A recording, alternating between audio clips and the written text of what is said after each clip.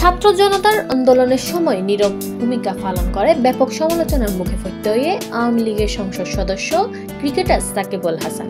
যার ফলে সাকিবের দেশে ফেরা এবং নিরাপত্তা লয়েরে শঙ্কা দেখা দিয়ে এতদিন চুপ তাহিল এবার নিজের রাজনৈতিক অবস্থান পরিষ্কার করছে দেশের সেরা এক ক্রিকেটার।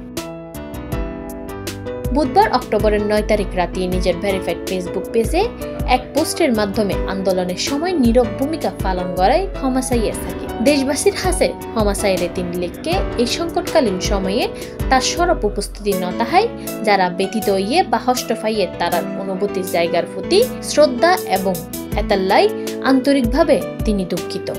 তারার জায়গায় তিনি নিজে তাহিলেও হয়তো এভাবে মনক্ষুণ্ণ হইত।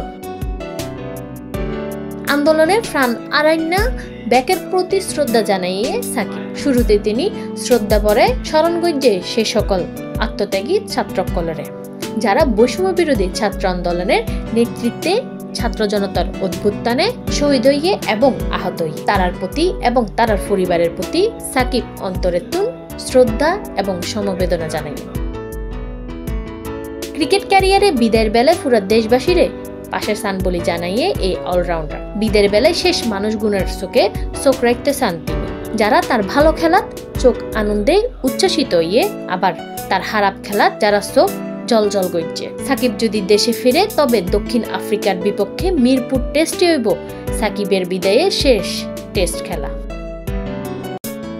C plus, Chittagong.